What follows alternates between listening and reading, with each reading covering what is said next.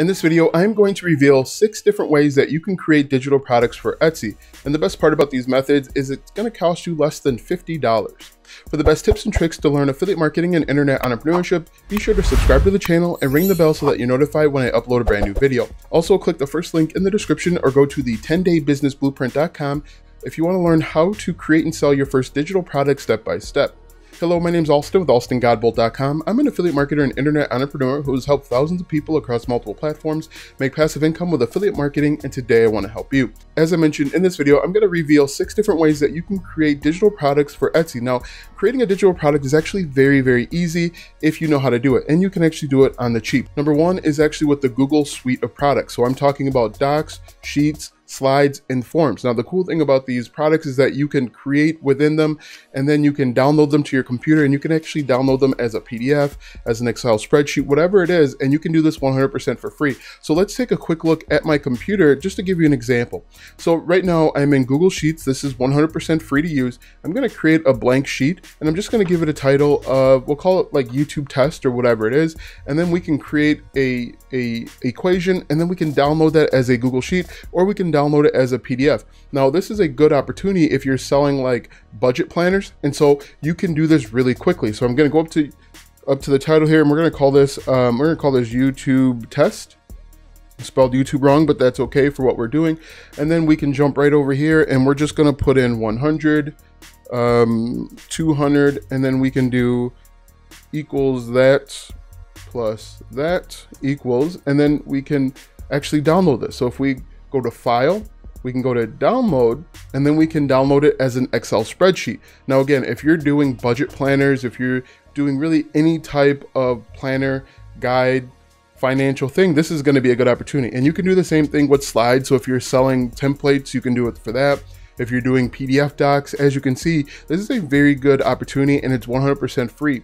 The other reason why I like the Google suite of products is you can use it on any computer. As long as you have an account and you use that same account on multiple computers and even your phone, you can work on your digital product all day and night from multiple computers. So you just want to make sure that you're signed into the exact same account and you can create until your heart's content. Well, once you finish your Google Sheet, as I mentioned, you can download it as an Excel spreadsheet, or you can actually provide a link within a sheet for the digital product. So there is a number of opportunities. So that's number one is with Google Suite of Products. Number two is actually with Canva. And the reason why I like Canva is because you have a ton of options. You can create TikTok templates, you can create social media templates in general, PDFs, Excel spreadsheets. You can do so much, calendars, planners. You can do so much right into Canva and you can do most of it for free. So if we go over to canva.com, as you can see here, I'm sure if you're looking into digital products, you've looked into Canva before, but there is so many opportunities. If you want to create printables or planner stickers, you can use Canva for that. And it's 100% free. So what you can do, for example, let's go to a poster. And within the poster, you can either modify templates. So these are templates that Canva has come up with. Now make sure that when you are creating digital products for Etsy or for anywhere, that you aren't just using these templates, you want to make sure that you're modifying them and making your own. If you use the templates that Canva provides, it's against Canva's terms of service. But what you can do is you can go over to go over to elements and actually show, had a video yesterday where I showed you how to create flags for Flag Day. So what you could do is we can just change the color here. We'll change it to, uh, let's change it to blue and purple. We can change it and now we have a brand new flag that we could potentially download and sell.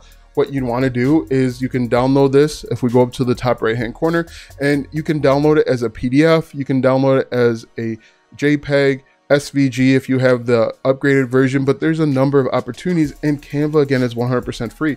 Now, not all of the stickers or all of the elements within Canva are free. Some of them are paid or premium, but you can use other sites to find different free or royalty free images. What you'd want to do is if you have a an idea, for example, let's say a Wisconsin flag, if we're doing uh, Wisconsin flag day and we could do images, hit enter, and then we'd want to go over to tools excuse me, you want to go over to images and then go down to tools. And then you want to make sure that you find Creative Commons or royalty free. And then what you can do here is you can simply download these flags. And I'm just going to download this one just to show you how easy it is to get up and running with Canva. So let's say we download this one, save that, and then we're going to go back over to Canva here. And I'm just going to drag and drop this right over, show in folder, And let's see, get this one out the way here. Drag and drop this right in here. And now we have another element. And then what we can do within this element, we can adjust it. So if we wanted to, we can make this look a little bit lighter. Uh, we can make it look darker, but we can, number of things that you can do within Canva and it's a very good opportunity again again because this is 100% free. If you were to try and do something like this over on photoshop it's going to cost you a, a, monthly subscription.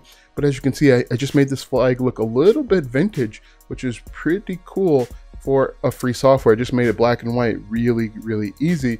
And as i showed you in one of my other videos that's exactly how some people are creating different flags for flag day. They're finding flags for free on the internet and even within Canva, and they're just adjusting the saturation so that it's uh, black and white, making it look vintage. But Canva is a very good opportunity. You can get up and running fairly quickly.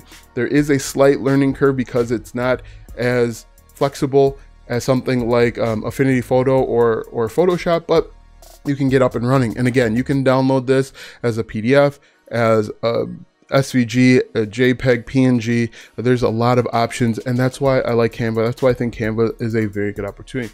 After Canva, after Canva, we have Microsoft Word or Pages. Now, the Microsoft or Apple Suite is another very good opportunity. And the cool thing with with Apple Pages is again, you can download those as a PDF. So if you're doing a let's say you're you're writing a ebook, you're writing a checklist, a step-by-step guide, and you want to sell that over on Etsy, you can again download it and save it as a PDF and then just simply upload it right into Etsy. It's going to save you a lot of time and energy if you use what you already have. You can also do the same thing with the regular text pad or notepad that you have in, in Apple or Microsoft, and it's really easy to get started. As you can see, I am in a Pages template. I'm just gonna create a blank template to show you how easy it is to get up and running. So I just create the template and you can basically the same thing in Microsoft Word. Another option is if you use Word and then you wanna convert it to a PDF later, there are tons of free tools online where you can convert a Word document into PDF. Uh, you should be able to do that from your computer, but if you can't, there are a number of opportunities out there. In fact, what you can do is you can simply Google Word to PDF converter, and you click this, and there's even a few of them out there that will actually uh, let you make your PDF editable, which is an additional bonus when you're trying to sell a product. But for example, if we go back to the planners, you can just upload your Word document. It's going to convert it to a PDF. As you can see, very easy. If you are creating something like a digital planner and you want it to be editable, finding a software or a tool online that's going to convert it for you for free is an additional bonus. You can actually charge a little bit more because you're offering even more value. If we go to pdfescape.com, you can create editable PDFs for free. And so what you'd want to do is you'd want to drag your document here has to be a PDF document and then you just basically highlight where you want to make it editable. It's really easy, really fast. And again, it adds additional uh, feature, convenience, you can charge a little bit more because someone can now edit this online or wherever they're they're going to use it. So uh, you can use a combination of Apple Pages, Microsoft Word, and PDF Escape to create digital products for you to use. So if we go over to this um, Pages document, it's a blank page document. What we can do is we can go to File, Export, and we can export it as a PDF, Word, plain text, and so on. So that's a very good opportunity. Very easy, very simple, and this works well. It works well for anything. It works well for graphics if you have the ability to create graphics in Word or, or Pages, but it's gonna work better for checklists. Let's say you're creating email templates, resume templates, it's gonna work very well for that. Um, but that is number three. Number four, and probably one of my favorites, is Affinity Photo. Now, I use Affinity Photo mostly for my thumbnails and my blogs, but you can use Affinity Photo and, and really the Affinity Suite to create different digital products for you to download and then upload to Etsy. Let's say you're creating, again, planner stickers, maybe you're creating um, SVG or logos or images, something along those lines, you can create it right in Affinity Photo. And when I purchased Affinity Photo, it was only $50 one time. Now, if you look at it, Affinity Photo looks a lot like Photoshop, but it doesn't have as many features. It's not as detailed, but it's still a very, very good opportunity. And as I mentioned, Affinity Photo has an entire suite. If you jump over to affinity.serif.com, you can see there is Affinity Photo, Affinity Designer, Affinity Publisher, and so on. And they're a pretty good price. As you can see, there is a ton of options depending on how well you are, how good you are with creatives and creating designs. It depends on what you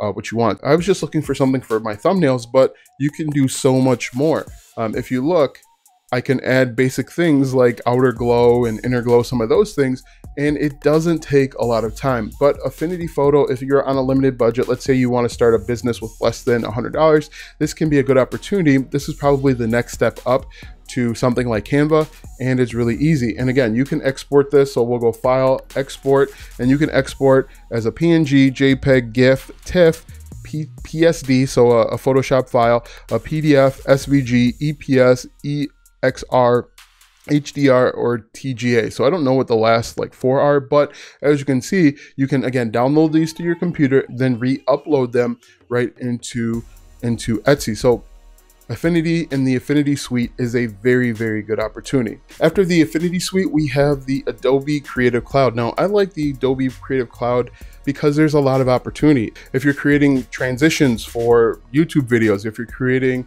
uh, PDF documents, you're creating logos, designs, all sorts of things, the Adobe Creative Cloud can be a very good opportunity. The only drawback to the Adobe Creative Cloud is that it can be kind of expensive, especially if you don't have the student discount, but there is a lot of opportunity depending on what you need. If you're selling Lightroom presets, obviously you're gonna need Creative Cloud and it's really easy, really intuitive, and there's a lot of tutorials online. You can jump on YouTube. There's a person on YouTube that does Premiere Pro videos in under a minute. But right now you see that I'm in Premiere Pro itself and you can quickly and easily create different videos if you're going to sell them. Um, you can create PDFs. Obviously, uh, PDF is created by Adobe, but there's a lot of opportunity. I would use Creative Cloud as the next step up to the Affinity package, and I would only use it really if you want the additional features. If you need something like video editing, if you're creating transitions, like as I mentioned, or Lightroom presets, that's the only time you would really want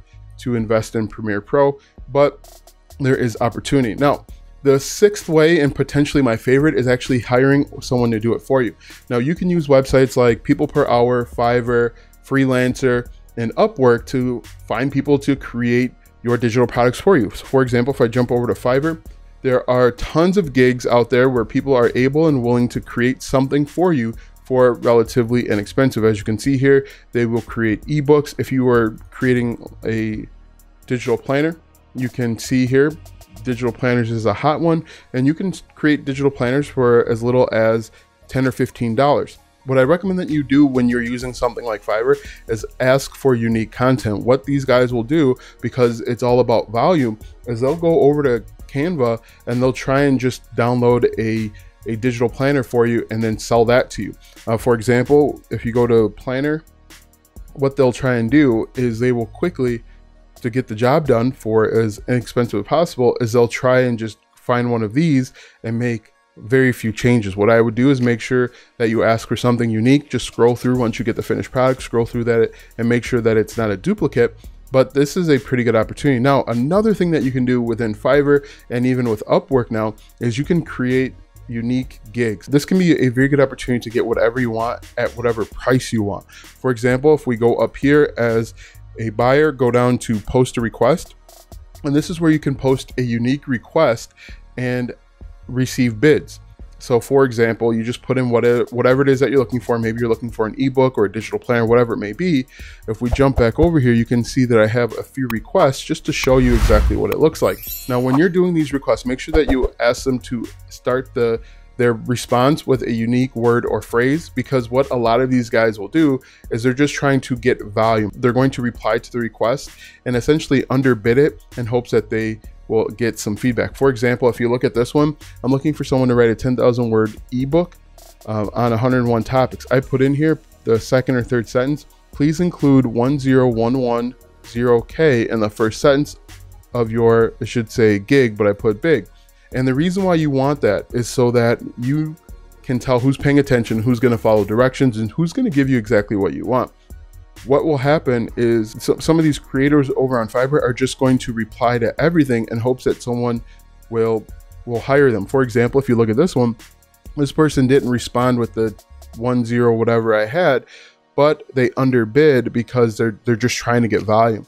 And again, this may not be someone that you want to work with, even though they're charging less. This may not be someone that you're willing to work with simply because they're not following directions and they may not have good quality. Also, you want to make sure that you're looking for people that have at least 15 or 20 ratings. Um, if they don't have any ratings, you can take a chance on them. But if you're running a business, if you're looking to make money with Etsy or online in general, I want to go with someone proven. For example, 60 ratings is pretty good. That means they have pretty good work. I would be cautious with three ratings just because they could ask three of their friends to buy their gig and give you a, a give them a five star rating. This person has eight. I would be hesitant on that. I'd want someone that has at least 10 to 15 gigs already done and ratings on those because that means that they haven't asked 10 or 15 of their friends to um, give them five star reviews. So if you look at this one, 138 five star reviews, that's probably a good person to go with. Now, again, you can find anyone at any price, but the less you pay, the, the, the more you risk getting lesser quality. Um, also, this person here is overbidding. This person's bidding five hundred dollars, um, so that's that's pretty interesting. This person didn't read the directions at all, and so I would not hire this person just because a they they bidded way too high. B they didn't follow the directions. They just answered and then they moved on to the next thing. But let's just recap. You have six opportunities. You can use a freelancing site like Fiverr, Upwork, People Per Hour. You can use Canva, which is 100% free. You can use Creative Cloud, which is going to be a monthly cost and a little bit more expensive. You can use Affinity Photo, which is a one-time charge. It's probably a step up from Canva, but maybe a step down from Affinity Photo. You can use the Google Suite of products, which I really like because you can then download them as an Excel spreadsheet or as a PDF, whatever it is that you need. Or you can use Microsoft Word or Apple Pages. Now that you know six ways to create your digital product for Etsy, click the first link in the description or go to the 10daybusinessblueprint.com. When you go to that 10daybusinessblueprint.com, you'll learn step by step how to create and sell your first digital product in 10 days. Go to the 10daybusinessblueprint.com to learn more. Watch these videos next to learn more tips and tricks to make money online. Also check out my website, alstongodbolt.com for even more tips, tricks, and tactics to make money online. If you like this video, go ahead and give it a thumbs up subscribe to my channel, and share this video with five of your friends.